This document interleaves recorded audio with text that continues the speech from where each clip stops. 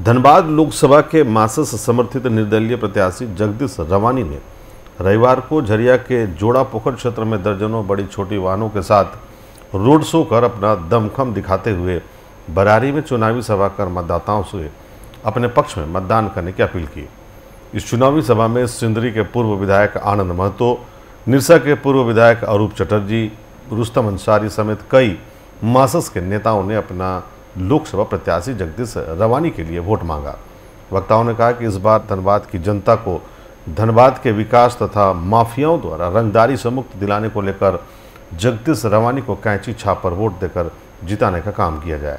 और हमारे धनबाद का भी भविष्य तय होगा पच्चीस है आप इनको वोट देके जिताएँ जो है कि 2024 में 25 तारीख को जो लोकसभा चुनाव है, इसमें पूरे देश की भविष्य तय करेगा, जनताओं का भविष्य तय करेगा। धनबाद की धरती का जो हम आज जो यहाँ बरारी में जो है हम लोग कार्यक्रम रखे थे ये धनबाद की धरती का जो है कि धनबाद के लोगों को जो है कि भविष्य तय करेगा सर।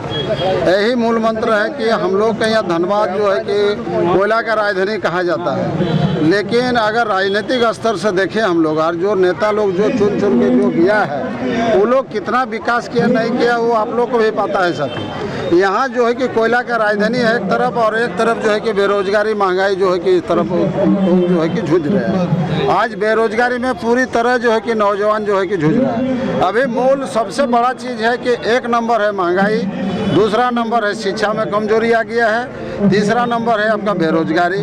चौथा नंबर है जो यहाँ स्वास्थ्य होना चाहिए। जब कोयला का राजधानी है तो यहाँ स्वास्थ्य होना चाहिए, स्वास्थ्य केंद्र होना चाहिए बड़ा।